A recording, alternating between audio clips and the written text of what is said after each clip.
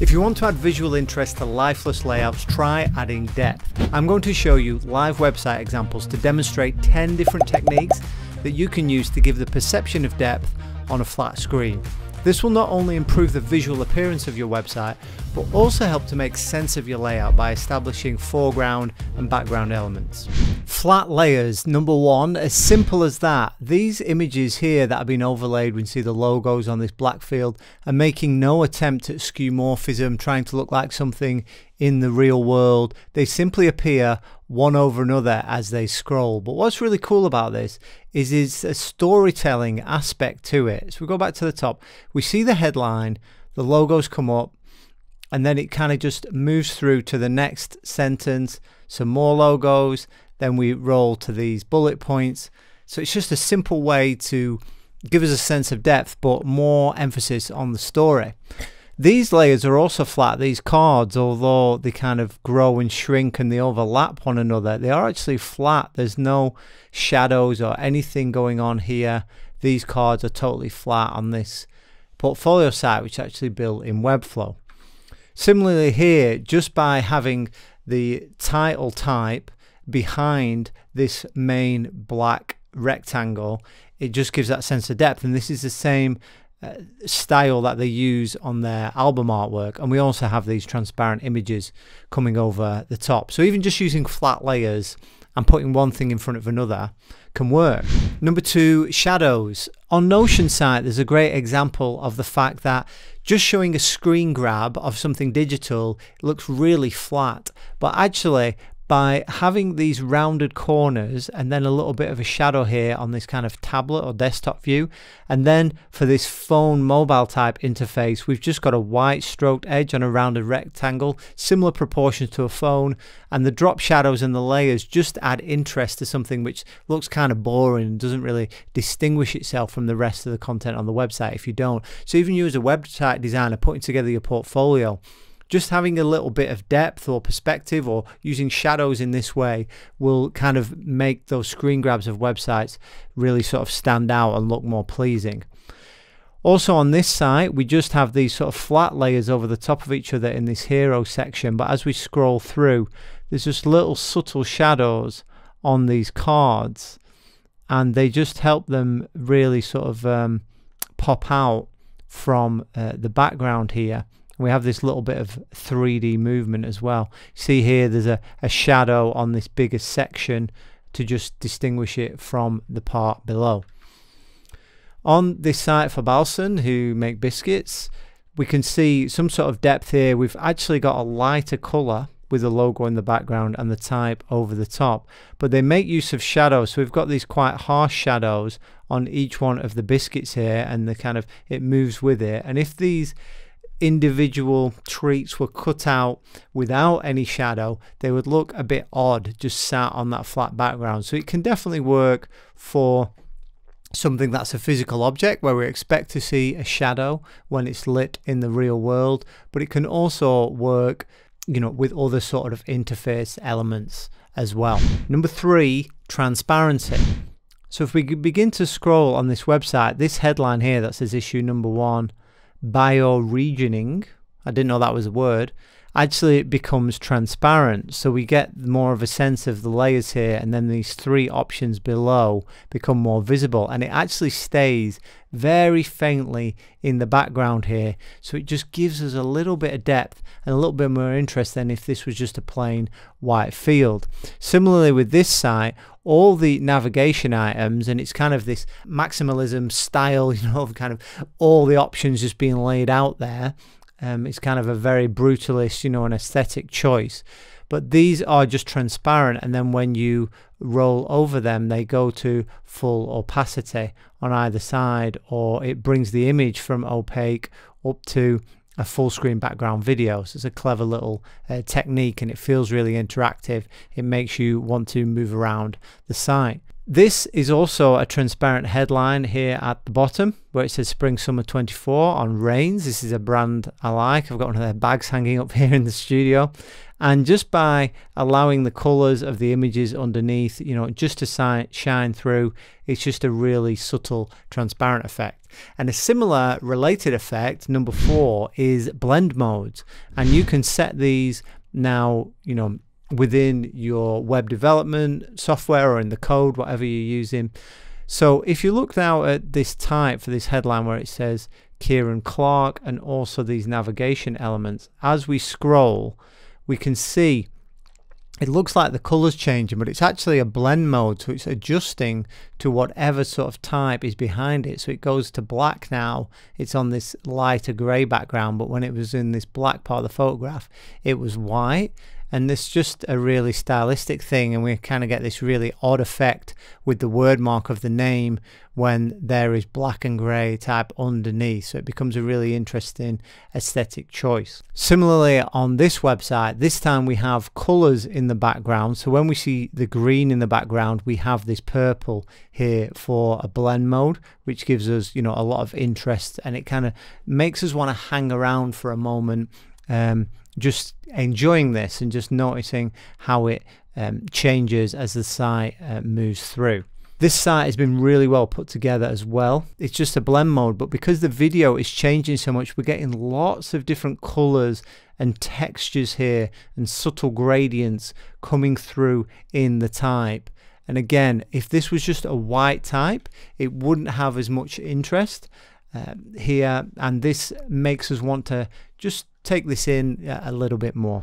Number five is blur. This gives a sense of depth because when we see photographs, it tends to be that the thing that is closer to the lens or the subject to the photograph is sharp and in focus and then things that are far away the backgrounds um, are blurred out when we have a shallower depth of field so you can mimic that kind of effect and, and just the the general sense that happens in our eye as well of things further away being a bit blurry. So this hero section here has these gradient images, these orbs that grow and shrink and change color. And there it's very clear that they are the ground and the type is the form. We have the foreground and the background elements. Similarly, with this site, as we actually scroll, you can see this central navigation with just these four options here is actually built on uh, a transparent background that actually blurs the information underneath it. So whatever color that is, this will start to get a bit darker now. But because that is transparent and blurred, it means that the navigation is always clear and is always visible, even when we have black type on black type again. On this site for Powell Studio, the blur actually moves with the cursor and it blurs underneath the images that are on top, giving us a sense of depth and also a nice little interactive element. Number six, we can actually use 3D space. So this uh, website for video production company, as I move around to the left, I gave the sense that I'm moving through this 3D space because this word mark is changing in perspective and so are all these thumbnails around it. On this side it's done a little bit more subtly eh, where the perspective kind of moves mainly to the left and right, not massively up and down, but this central uh, black field with these image on it kind of looks like a TV.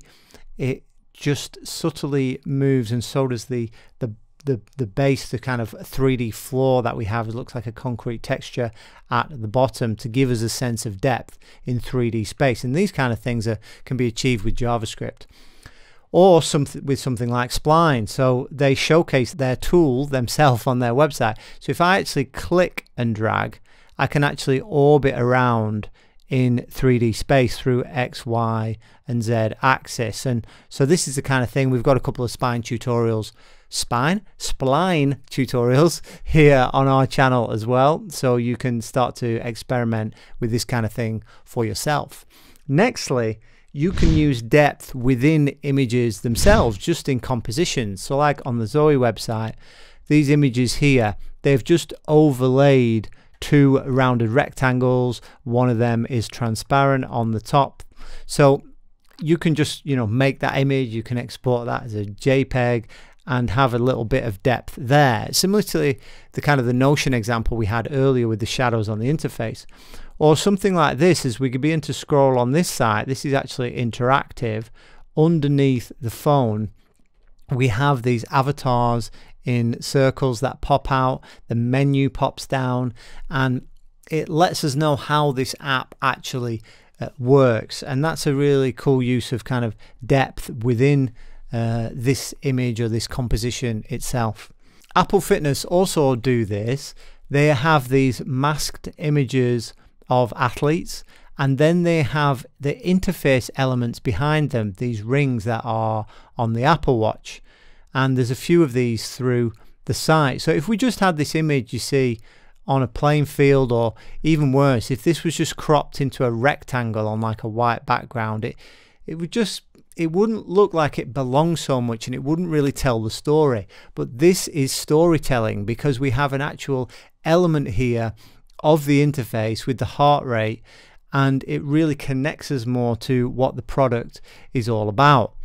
And there's one more here with the idea of the rings filling up. So we're connecting, we're telling the story because we're connecting the person who is using the product by doing this and that's just within this image itself. Number eight is photo on photo and this is a style that I really like. As we scroll through uh, this site here we can see that the photo of the model is actually just overlaid and it actually appeared there if we just scroll again it grows from the center on a field of this this canopy here of trees and this is just a, a graphic design kind of style trick that you can use and it can produce this this really interesting contemporary looking effect. They use this later on actually with these specific products that when you actually roll over each one of these panels the product appears in the middle and it blurs the background uh, photograph. But then it just creates this sort of textural background element that's very soft. So you could do this by blurring a background, but you could also just do it with both images on focus, and that's just an interesting uh, kind of stylistic way to add depth. Another ways of using photos on photos is on this site and as we roll over each of these options here in the left navigation we have the main image that is at full transparency but then we have a darker background image underneath and we're able to have this again. It just serves as a background because um, the opacity has maybe been lowered or it's kind of you know got a black feel over the top. It just pushes it into the background and we know the foreground is the brighter image. And this just makes again more visual interest in our composition brings the whole thing together. Number nine is masks. So just cutting out uh, images and being able to then overlay them in layers. So the fact here that this stone has been masked and it overlays this type makes that a lot more interesting. If you can imagine that stone being smaller and just set on a white field in the center of this composition, then it would be quite a strange uh, sense of proportion with all these medium-sized elements. But now we have this main element that that dominates, so the proportion is better, but it also it just looks more considered because it overlaps the type. Pretty simple, but when done well, it just adds a little uh, flourish and makes the thing look more deliberate. It could also do something like this. So this is actually interacting with my mouse as I move around. Then when I stop moving, these photographs move away, but each one of them is just cut out and masked and they just appear over the top of each other you know, and it's just kind of a really strange sort of quirky thing, but it fits the personality of this website and this headline, Born Curious. So it's just a way to have masked images kind of overlaying one another. On this site, we see as I kind of just move my cursor, something is kind of cutting through. It's, it's encouraging us to do something here. And as we actually scroll, the logo word mark grows. Let me just do that again. And you see the F grows to fill the screen and it actually masks the video underneath if I do this quite slowly until it appears full screen. So you can actually use masks as a transition element as well. and here we also have kind of the photo on photo thing with some of these crops. And finally, number 10 is parallax scrolling. So here, first of all, we have some flat layers, this word mark, how it overlaps both the white background and the photograph here. And as we scroll, this word mark is going to get smaller and smaller. And parallax scrolling, let me close this pop-up, simply just means things scrolling at different speeds. So we go into this second panel here with the issue and then the specific articles within it. But as we keep scrolling, the issue stays in place in the left column and the right column begins to scroll for a moment. Let's just do that again before the left one then starts to scroll. We have the parallax effect here as well with this full width advert. If I start to scroll over that, we see that the type stays in position there and this mask that goes over the top of the image changes at a different speed. This site too makes use of a lot of these different things. We've already seen it actually for this blur uh, at the top, that same sort of effect. But we also have this parallax scrolling as we move down. The image stays on the left, the right column continues to move first, and it's a bit more pronounced here. We also have this idea of 3D space with this spinning globe and that feels like it's turning at a different speed to the type on the left. Again, as this part comes into view, these horizontal uh, little rounded cards here for all these different artists, they will scroll independently. So just having things scroll at different speeds just make things feel a uh, bit more, there's a bit more physics going on. And for the final website, this is using parallax but it's this is kind of using everything. This is just a really kind of uh, wild website. So it looks uh, pretty unremarkable at the moment. We just have almost black type on this sort of off-white background kind of a light gray beigey kind of background. We have a little bit of blending modes going on here but as we scroll we start to have these other sort of elements of uh, storytelling that come into this. So we have these flat layers here, but we also have a, a blending mode. So all the type is actually for the captions of each um, title is actually a blending mode here. Looks like these guys worked on webflow.com. That's pretty cool. And then we have this idea of 3D space as um, these all these different rectangles kind of move through and we also have the blending mode here.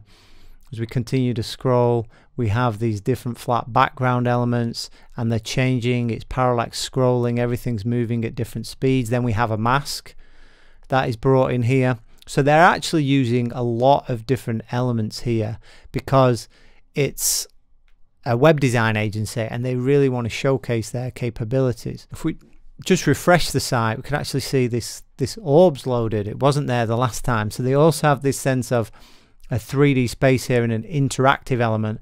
And that is also showcasing the blending modes even more as this moving orb uh, moves through the site with us.